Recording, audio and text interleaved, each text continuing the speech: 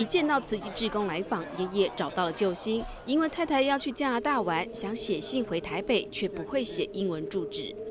信封写好了，叫我太太带到那边去家跟他不会写，我也不会写。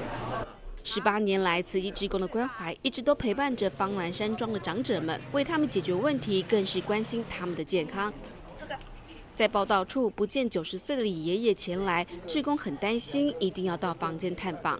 上上一个月，他就有床有从床铺上跌下来，那我也稍微有印象说，这位这位伯伯好像没有办法很快的行动。